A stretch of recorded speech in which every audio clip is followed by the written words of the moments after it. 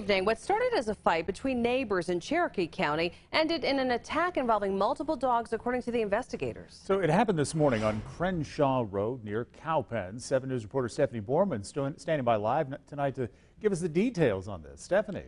Gordon, according to the sheriff, there was some sort of ongoing argument between two neighbors who live on Crenshaw Road. He says things escalated from there, but he says it all could have been handled much differently.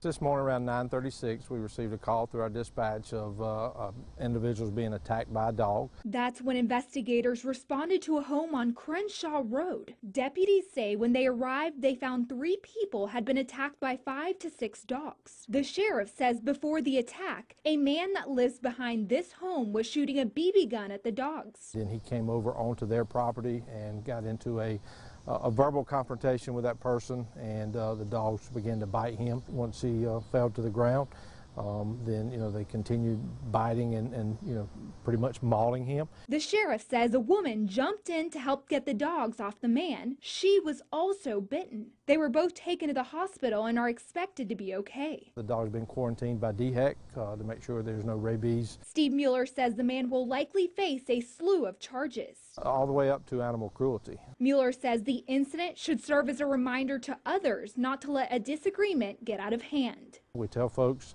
the most easiest thing to do if you're having an issue with your neighbor, uh, separate yourself from them, call law enforcement, let us come in, kind of mediate.